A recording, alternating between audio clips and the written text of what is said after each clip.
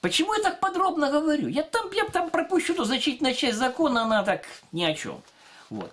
Но я хочу, чтобы вы понимали о том, кто за что отвечает и кто чего не делает, ну, наверное, чтобы не отвечать.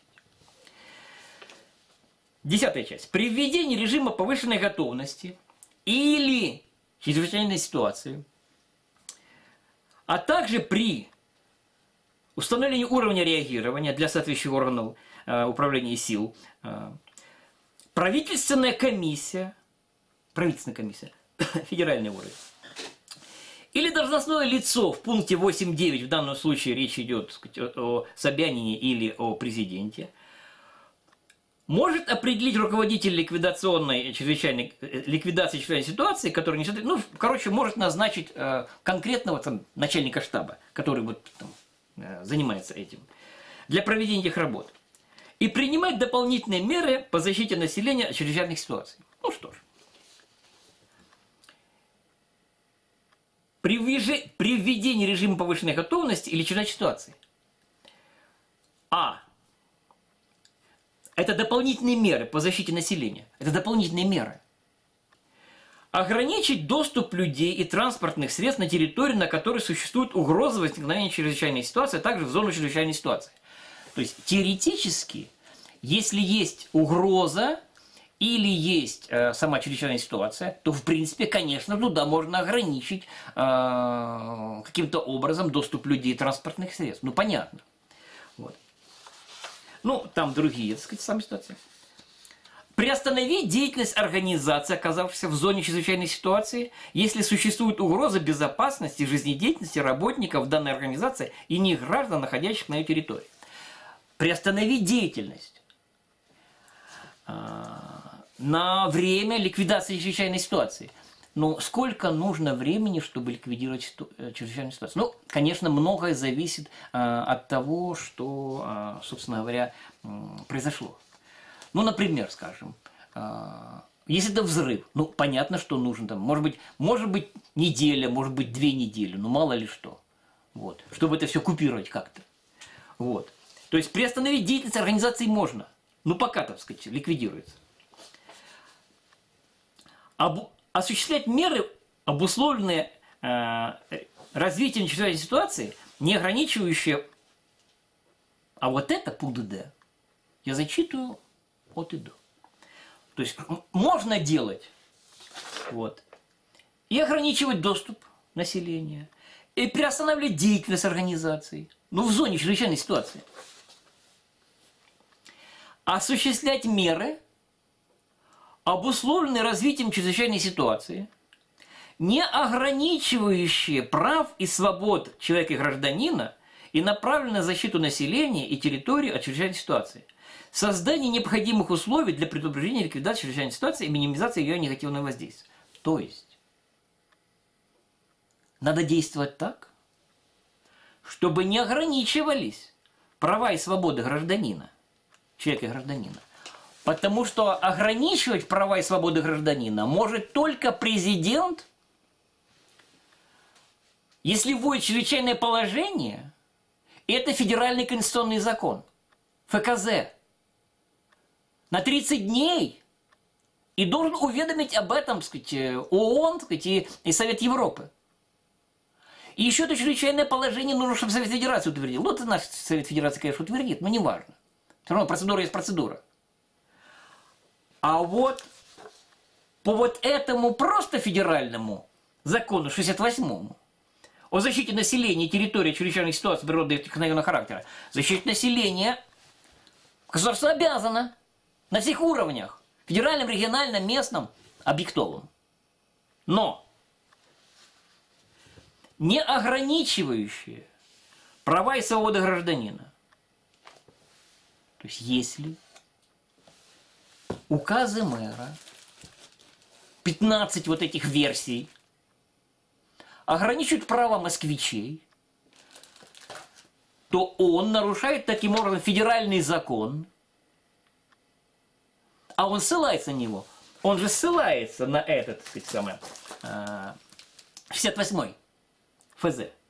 о защите населения. То есть в шапке указа Собянин ссылается на, на закон, при этом он обязывает граждан тыр-дыр-дыр-дыр-дыр тому-то и к тому-то к самоизоляции. Это ограничивает права и свободы гражданина и человека? Я думаю, ограничивает.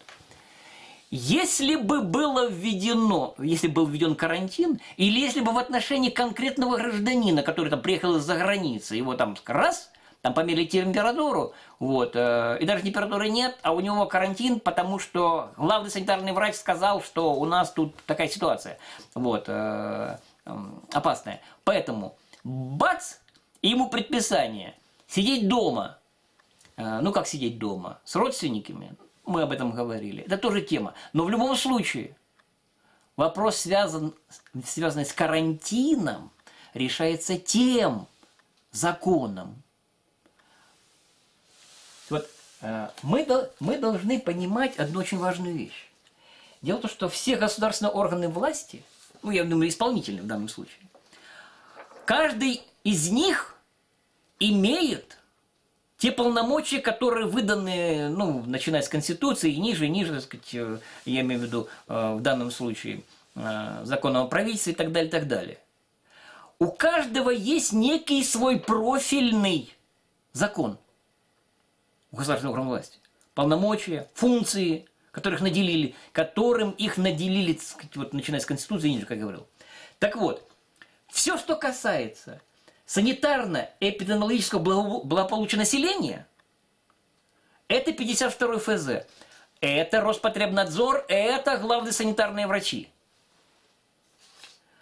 А вот все, что касается чрезвычайных ситуаций, природного техногенного характера, это МЧС, это их профильный закон.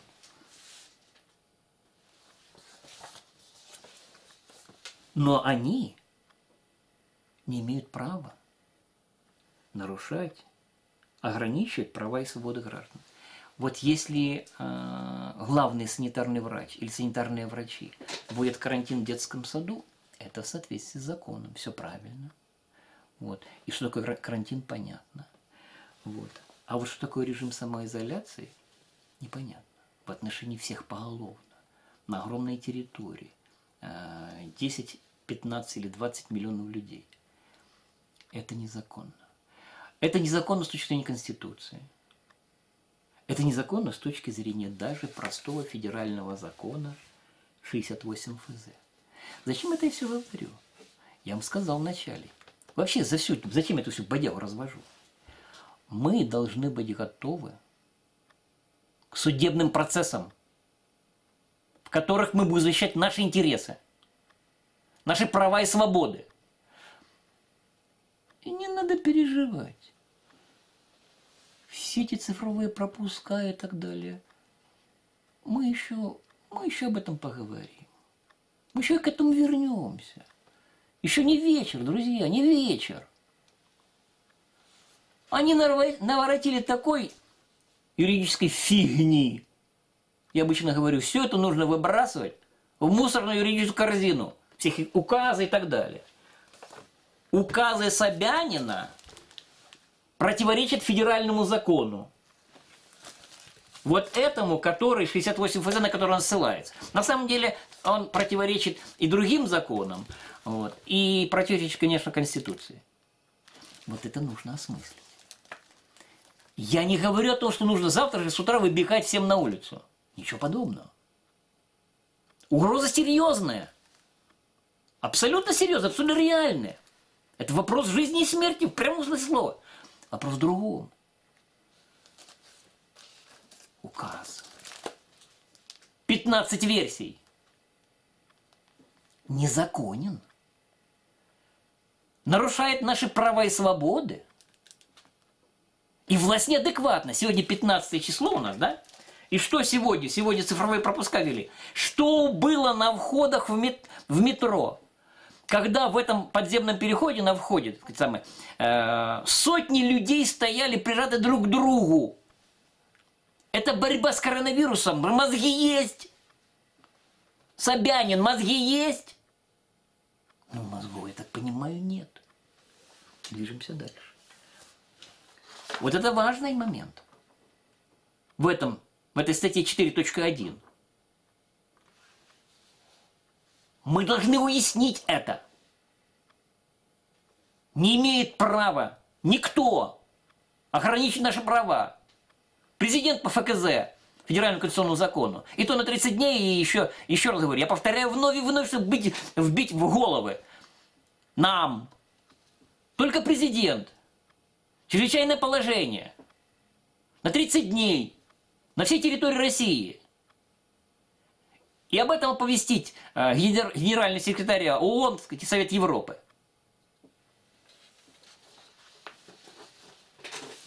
Ну, границы зон чрезвычайных ситуаций определяются руководителями вот этих ликвидационных, так сказать, самых, э, ну, кого назначили. Информировать население надо, вот, э, федеральные органы обязаны оперативно, достоверно информировать население через средства массовой информации о ситуации. Надо, обязаны оперативно и достоверно. Э, ну, не знаю, ну, лет 10, 15 или 20. Ну, что можно действительно доверять властям о том, что они говорят? Я, например, не доверяю. Я точно знаю, что ну, если у человека есть возможность иметь другие источники, а сегодня есть такая возможность. Сегодня очень много источников информации. Нужно только не смотреть, так сказать, глупый ящик для идиотов, извините за выражение. Вот. Сегодня можно получить информацию, пока еще можно. А мы будем бороться за то, что это так было всегда.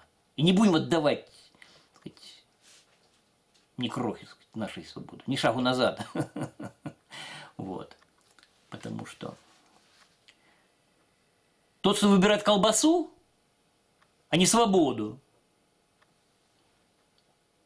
тот не будет иметь ни колбасы, ни свободы. Вот сейчас вы все, кто голосовали за вот эту власть,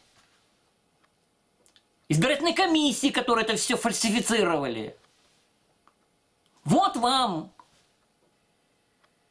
президент, вот вам Собянин, ну, я пропустил Государственную Думу, вот, правительство.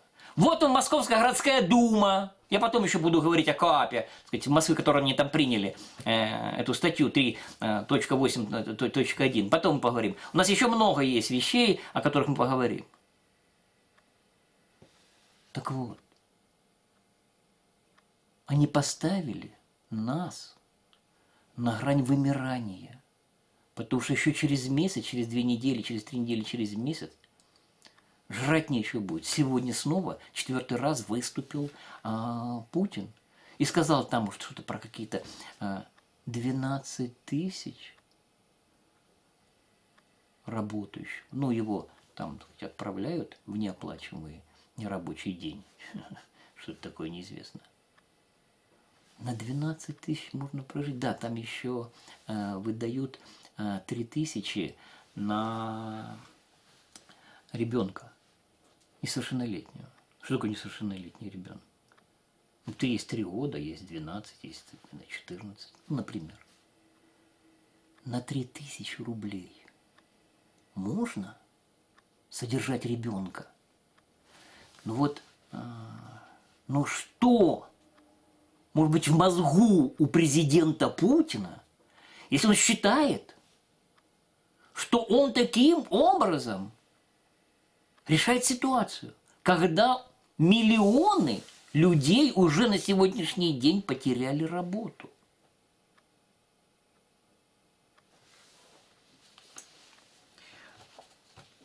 Движемся дальше.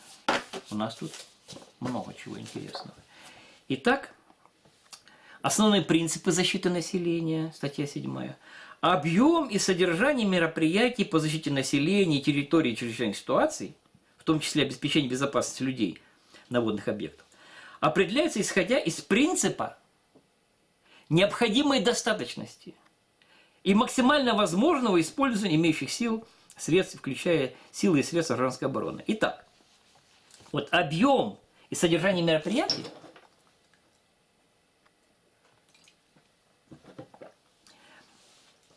принцип основной необходимой достаточности. То есть нужно иметь мозги и понимать, что необходимая достаточность вряд ли подразумевает,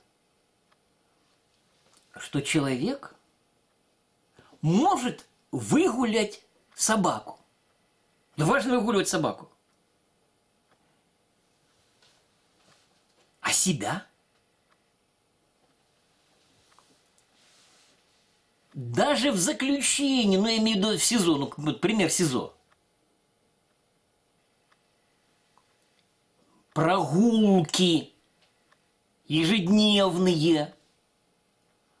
А у москвича даже возможности этой прогулки нет. Юридически.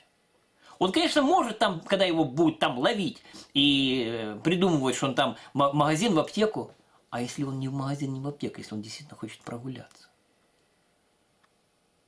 То есть, по сути дела, он должен лгать. Вообще-то, когда человек лжет, это его разрушает. И Собянин таким образом, по сути дела, ставит москвичей в ситуацию, когда они должны сами себя э, внутренне, психологически, этически разрушать. Потому что они должны врать. Они должны врать, э, что им, например, нужно действительно, не знаю, там, э, какие-то свои, свои нужды жизненные. Может быть, нужно поехать к родственнику, Потому что у того родственника э, ну, какая-то опасная болезнь, лекарство нужно привести, или просто у него психологический срыв.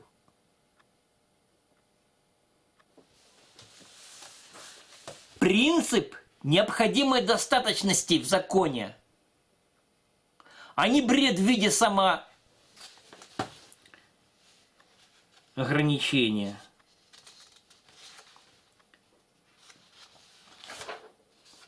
Полномочия. Вот давайте мы посмотрим, какие полномочия вот, э, необходимая достаточность, самоизоляция. А мне кажется, эти вещи не совместные. Полномочия органов собственной власти. Президент. Полномочия президента. Ну, определяет в соответствии там, с 80-й статьей Конституции там, сказать, основные сказать, э, направления государственной политики, вводит при чрезвычайных ситуациях в соответствии со статьями 56-88 Конституции Российской Федерации при обстоятельствах и в порядке, предусмотренном федеральным конституционным законом, на территории Российской Федерации или ее отдельных местностях чрезвычайное положение. Итак, Здесь ссылка на ФКЗ номер 3 о чрезвычайном положении. То есть полномочия президента в области защиты населения территорий от чрезвычайных ситуаций, то есть если есть чрезвычайная ситуация, то у президента есть полномочия ввести чрезвычайное положение. Наложить чрезвычайное положение на чрезвычайную ситуацию – у президента такое право есть. В соответствии с федеральным конституционным законом. Президент этого не сделал. Почему? Почему он не исполняет свою, свои обязанности, присягу, клятву? Он же поклялся на Конституции защищать нас – у него было полномочие ввести чрезвычайное положение. И тогда бы было понятно, кто и что должен делать. Но тогда бы и были бы, соответственно, финансовые обязательства, расходные обязательства Российской Федерации за все это. За нерабочие дни в полном объеме, ну и так далее, и так далее гражданам, предпринимателям.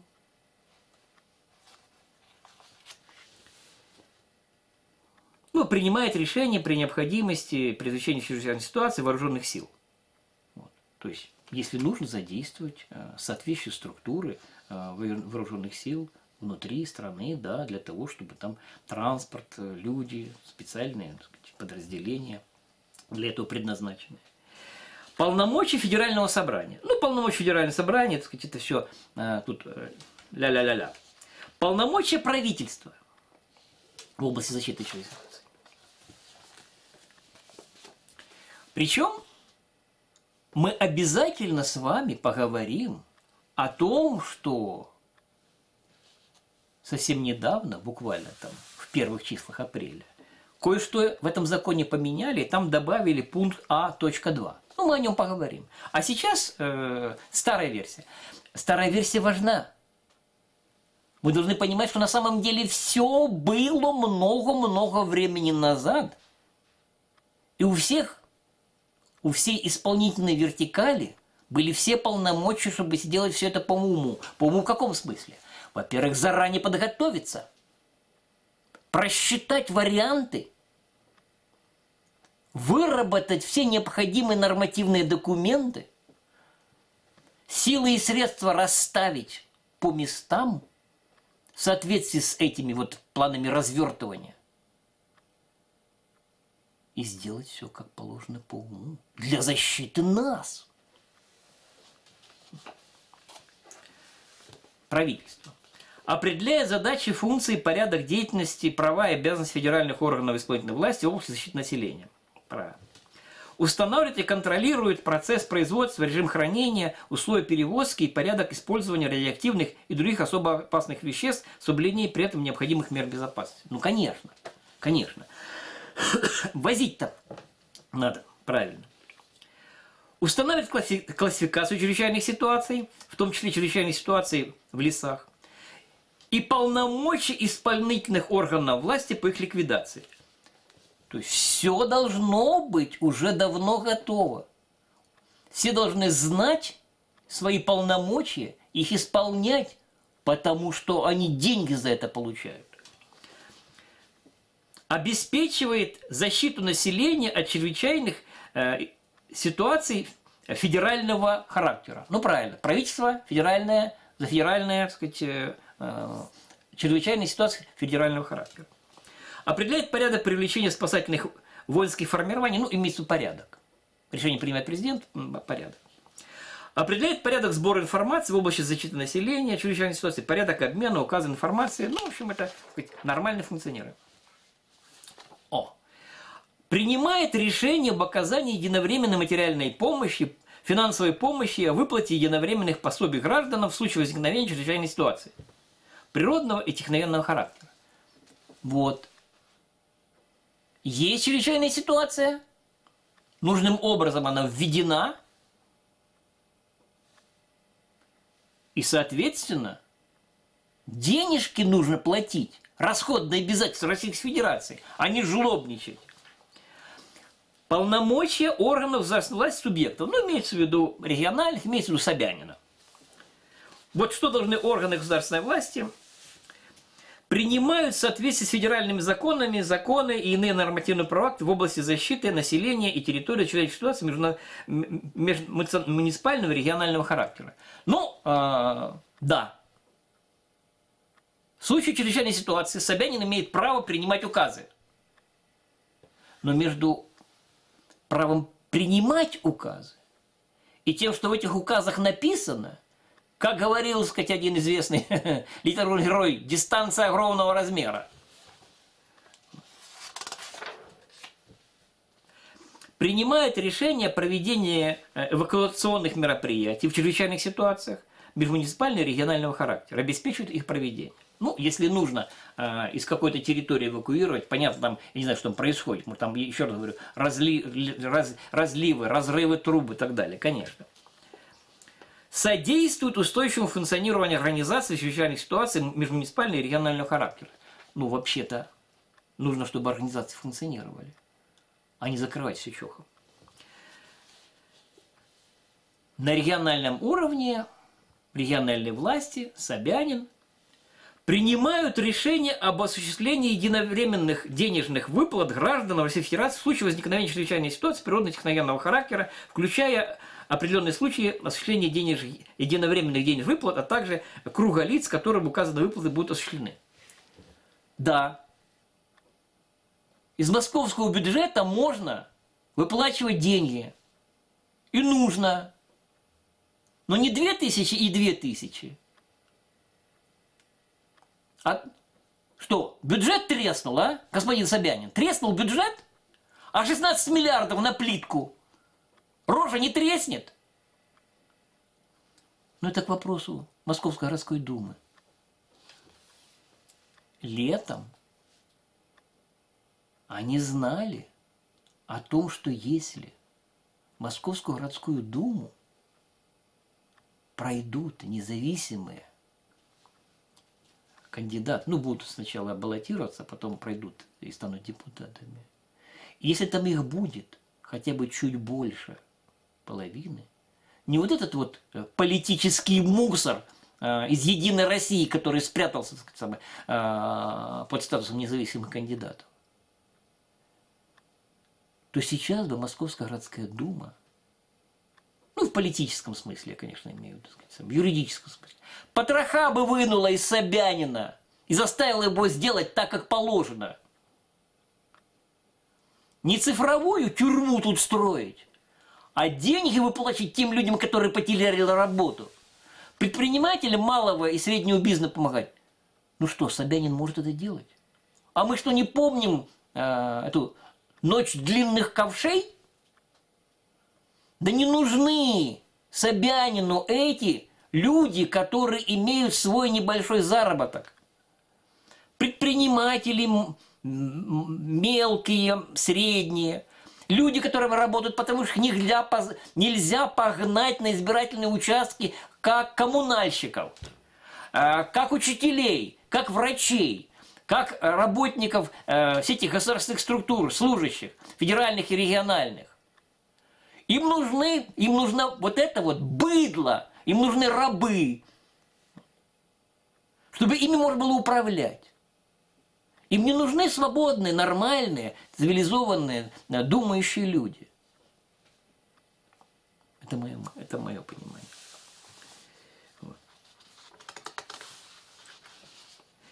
принимает решение об отнесении возникшей чрезвычайной ситуации к чрезвычайным ситуациям региональным международным характера, вводит режим повышенной готовности или чрезвычайной ситуации для соответствующих органов э, управления и сил единой государственной системы предупреждения ликвидации чрезвычайной ситуации. Вот тут я хочу сделать особый упор на этой формулировке и зачитаю еще раз более внимательно – Итак, принимает решение, ну, имею в региональные исполнительные, в данном случае Собянин. Во-первых, об отнесении возникших чрезвычайных ситуаций, чрезвычайным ситуациям. То ли региональный, то ли э, межмуниципальный. Ну, то есть, или э, 2-3 района затрагивает эта чрезвычайная ситуация, или всю Москву.